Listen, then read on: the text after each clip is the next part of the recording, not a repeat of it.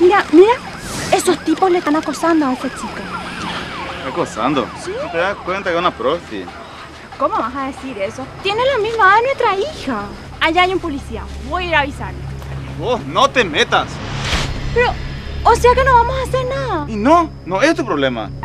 Y vamos ya que es tarde. Hace algo por las víctimas de explotación sexual. Denuncia al adulto explotador a los teléfonos 911 o al 147.